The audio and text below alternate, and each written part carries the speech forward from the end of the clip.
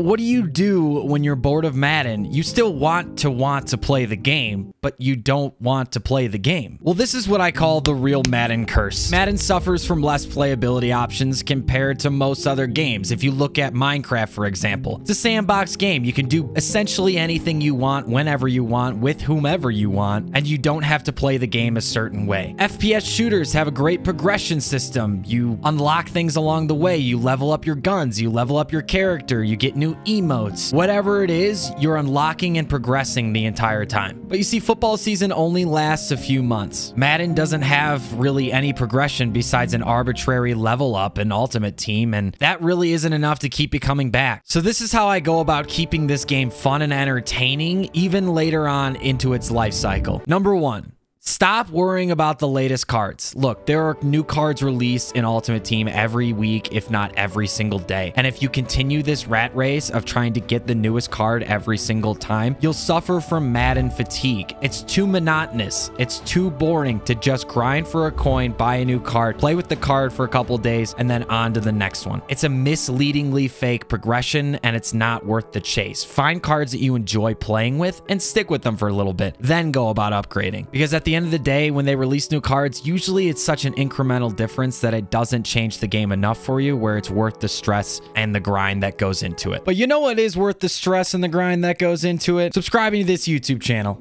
on to number two. Number two, build a theme team. Now, this doesn't have to be a single team theme team. This can be an all out of position team. This can be your favorite team. This can be your least favorite team. I can't tell you how much fun I've actually had playing with the Packers theme team. And it's not because I'm enjoying playing with the Packers. It's because it forces me to play in an entirely different playstyle than I do with my Bears theme team. Traitor! Different strengths, different weaknesses. The act of building the team itself is fun. So whether you sell your entire team or whether you just grind for the coins and buy new cards, the act of building the team itself is also fun. It can be an all something promo, all zero chill, all most feared, all legends, all small legends, all large legends. It doesn't matter what it is. Build yourself a theme team. You can even do a coin challenge. Give yourself a million coins and try to build a team from that and see how well you can do in a season. Number three, you can play a different mode. Now, I know Superstar KO seems pointless. There's not much progression in it, but the mode in and of itself can be a great change to the gameplay. People run different plays. They're forced to use different playbooks. You get to try out different abilities. It can actually be very fun. You can start up a sim offline franchise. I've done this and acted as a sim for previewing upcoming Bears games for the weekend. It's fun to try and take the GM's role and build your own team, change your team's future. Try something sim for once instead of running the same plays. Not because I'm against that, but because it can be a nice change of pace. You can even play the yard. No, I'm kidding. You don't play the yard.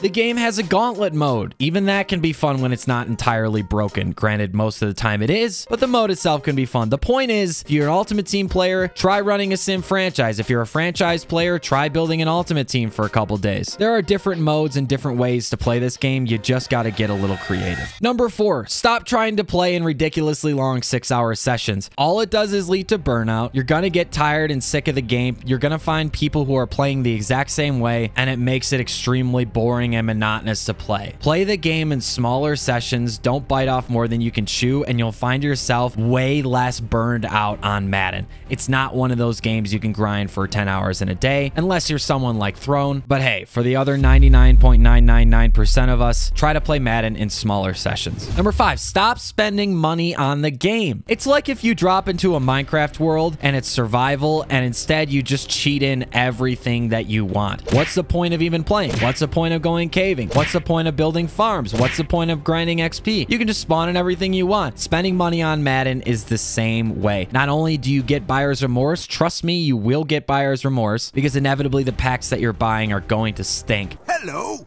I like money. What inspired you to build a second Krusty Krab right next door to the original?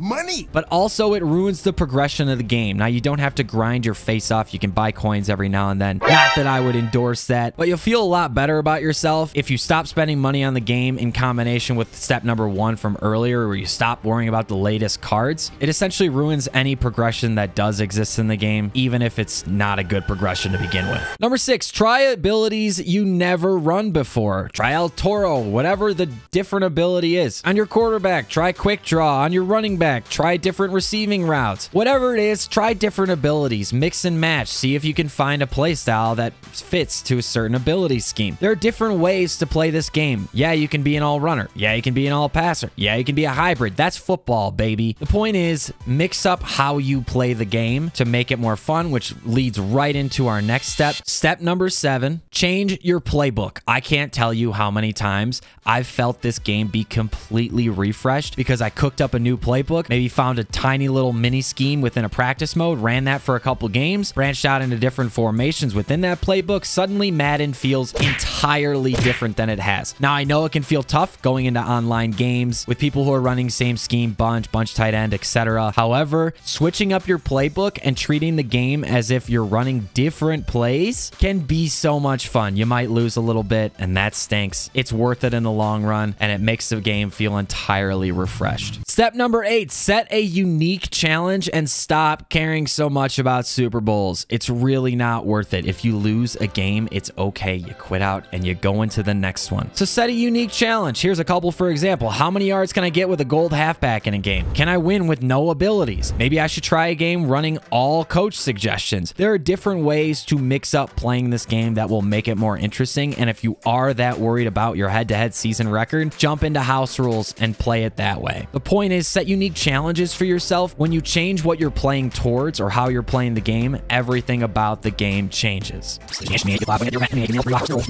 When you change what you're playing towards or how you're playing the game, everything about the game changes. And lastly, step number nine, find and play with a friend. Some of my best gaming memories, in fact, almost all of my best gaming memories are playing with the boys. Now, my best times were Modern Warfare back in the day, hopping into 6v6 search and destroy lobbies. So much fun, right? Minecraft servers, grinding and building until 3 in the morning on a server with my buddies. The point is, playing video games with friends is always better. You don't have to play squads. You can play head to head. You can hop into a small franchise league. Doesn't matter how, but find a friend, find a couple friends, find a small community. Hey dude, I'm just looking for more friends to play Minecraft with. I saw you on YouTube.